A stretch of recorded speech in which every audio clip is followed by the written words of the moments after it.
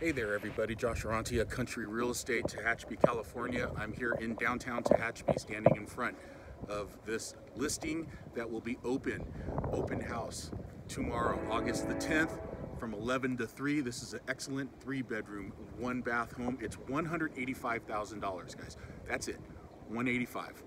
Great price, great starter home, great downsizing home, great investment home. You can hear the train coming through town here right now in Tehachapi. This is a great time to be up here in Tehachapi investing in downtown, getting your piece of the American dream right here.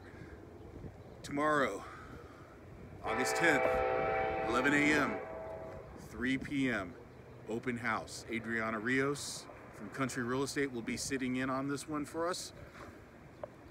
185,000 address 312 East J Street, 312 East J Street, 11 to 3. We will see you then.